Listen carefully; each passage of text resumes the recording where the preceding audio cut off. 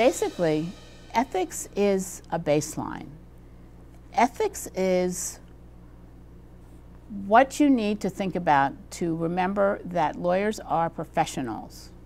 In order to have client centricity, in order to be focused really on what the client wants, you have to go and think about the intent, which is to balance what the, the, the law says and what you're trying to do for the client against the needs to make the client an important part of what you're doing.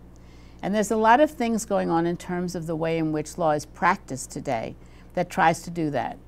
More and more clients, particularly lawyers as clients, are asking that they be involved in the process of determining how you're going to solve a case.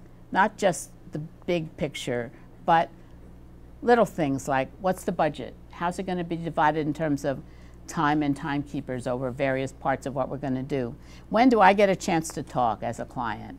So, in order to turn ethics into something that you can use to differentiate your practice, you need to think about how you're going to take what the rules say and incorporate it into how you do your practice.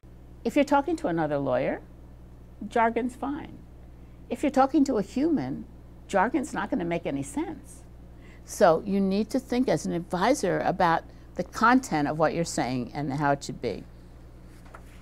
Usually, you're supposed to wait until you're asked for advice. It's polite, I guess, according to the rules. But in many cases, if it's going to matter, if it's material to the decision, you're going to offer the advice.